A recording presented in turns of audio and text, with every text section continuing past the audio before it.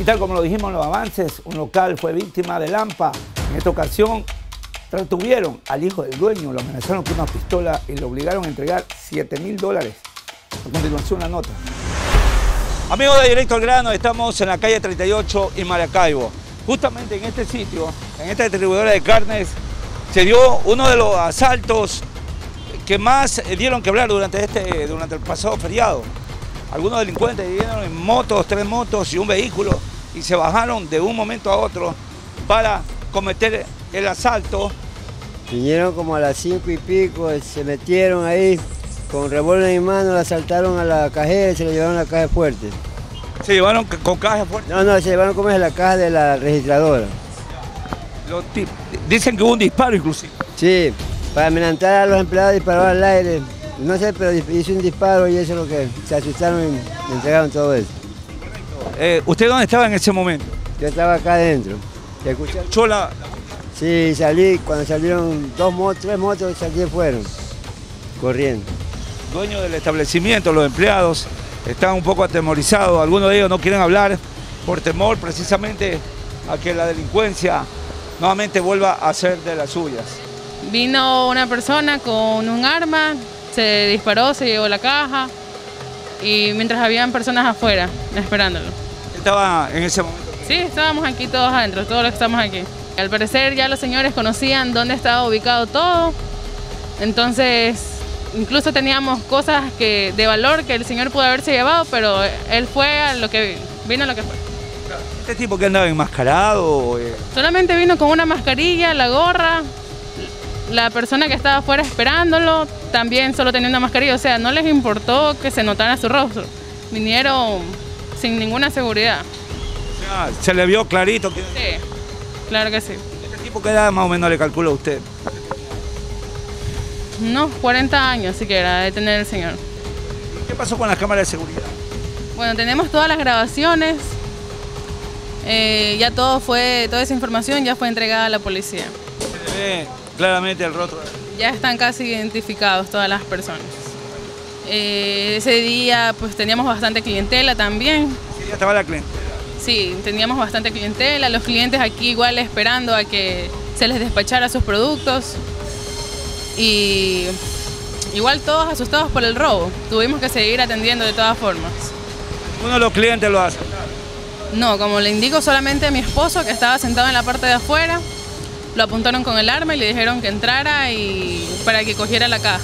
¿El esposo del dueño del local? Es el hijo. ¿Ya habido, han habido algunos asaltos? Sí, justamente una hora antes de que nos robaran a nosotros, por aquí pasó una chica gritando que le habían robado la cartera. Aquí entre, la, entre las personas aquí mismo lo atraparon y pues lo cogieron al chico y le, le quitaron el dinero. Lamentablemente la situación en el país está muy crítica, la delincuencia se ha desatado y nosotros los ciudadanos estamos desprotegidos. Realmente ya no sabemos qué hacer porque nosotros todos los días trabajamos honradamente, sin embargo uno sale y en cualquier momento es víctima del asalto. Entonces pedimos a las autoridades realmente que tomen cartas en el asunto y que implementen un plan integral, porque uno se para aquí a comprar para comer y en cualquier momento también somos víctimas.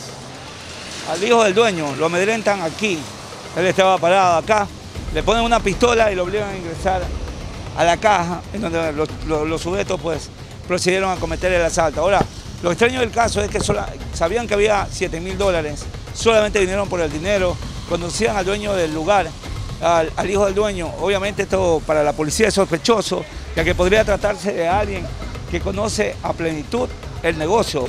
Tal fue que le pusieron la pistola para, para que buscara el, dinero. ¿En dónde estaba en ese momento? ¿Quién? El hijo del dueño. Ahí sentado. No sé si lo conocían, lo cierto es que lo apuntaron con la pistola para que entrara adentro. ¿Qué hizo en ese momento? No, me quedé paralizada porque quieto es quieto y más con un sujeto armado como estaba y con ese disparo que lanzó me quedé quieta. Ah, ¿El disparó aquí adentro del local o afuera? Sí, aquí adentro. Eh, tienen que, primero tienen que cambiar las leyes. ¿Qué hace que el ladrón caiga y sale otra vez? No, no, hay, no hay leyes aquí, aquí no, las leyes son muy frágiles. Hay tanta delincuencia, no, tengo una hora aquí y no pasa ni un policía. Y esta es una vía donde la delincuencia a diario está aquí, a cada rato. Sí, esto es demasiado. Estamos aquí insoportablemente en zozobra, aquí en la ciudadanía, aquí en el suburbio suroeste de la ciudad de Guayaquil.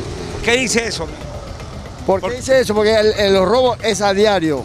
Los robos son a diario. Aquí en la 38 y más. El día sábado se bajó un asaltante y justamente la chica lo alcanza a agarrar y los policías lo, los, lo cogieron y la, la chica le arrebataron 60 dólares y un teléfono celular bajándose del bus dos ampones, de los cuales uno huyó y el otro quedó allá. Gracias a Dios, si querer queriendo pasaba la presencia policial, pasaba motorizado y vio el hecho y, enseguida le auxiliaron a la niña. Así. preocupa a ustedes porque obviamente tienen... Nosotros tenemos negocio, todos tenemos negocio, todos vivimos en los negocios aquí en este sector, todos somos comerciantes y nos preocupa. Necesitamos el resguardo policial hacemos llamado nosotros también a la Policía Nacional, a la autoridad. miembro, autoridad. Gobernador del Guaya. el gobernador que por favor nos venga aquí a poner seguridad aquí en este sector, porque aquí ya nos tienen zozobra todos esos señores antisociales. Que por favor nos presten seguridad. Bien amigos, bien amigos, eh, esto es directo al grano. Estamos en la 38, desde acá, desde la 38 y Maracaibo. Ya regresamos con más del programa. Ya volvemos. Bien amigos, Gracias por habernos acompañado en esta nueva edición de Directo al Grano. Mañana jueves, recuerde, estaremos desde las 12 horas 30 con ustedes con más noticias. A nombre de todo el equipo, muchísimas gracias, que Dios los bendiga. Buenas tardes. JD Producciones y Canal 1 presentaron Directo al Grano con José Delgado.